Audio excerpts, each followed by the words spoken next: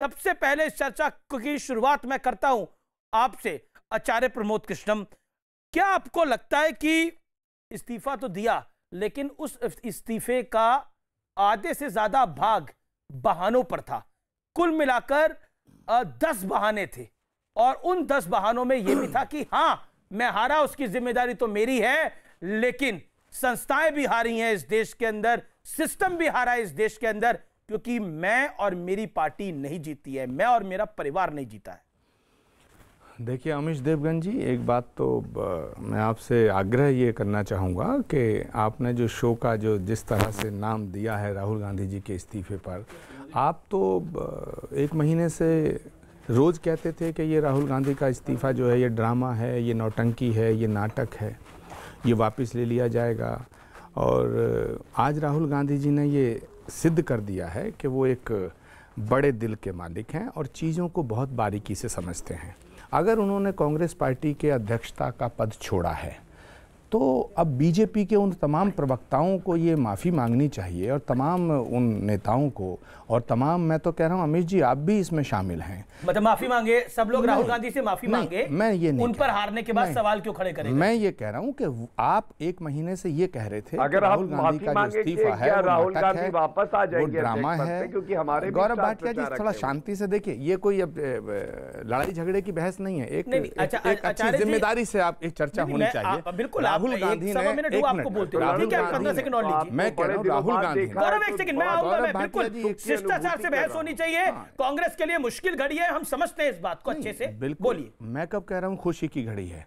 लेकिन इस देश में कांग्रेस पार्टी का जो कंट्रीब्यूशन है आपका अटैक ये होता था बीजेपी का अटैक ये होता था गौरव भाटिया जी का अटैक ये होता था कि कांग्रेस परिवारवाद से मुक्त नहीं हो सकती। कांग्रेस में परिवारवाद है। राहुल गांधी ने इस्तीफा देकर के सिद्ध कर दिया कि कांग्रेस पार्टी पावर सेंटर जो उनका परिवार कहा जाता था उससे मुक्त कर मैं दो अब बात खत्म हो गई। इसको अप्रिशिएट करना चाहिए। उनके निर्णय का सम्मान करना चाहिए। और मैं उनके निर्णय का सम्मान करता परिवारवाद के खिलाफ जिसने सबसे मुखर होकर आवाज़ उठाई वो है शहजाद पूनावाला जब राहुल गांधी अध्यक्ष के तौर पर आ रहे थे।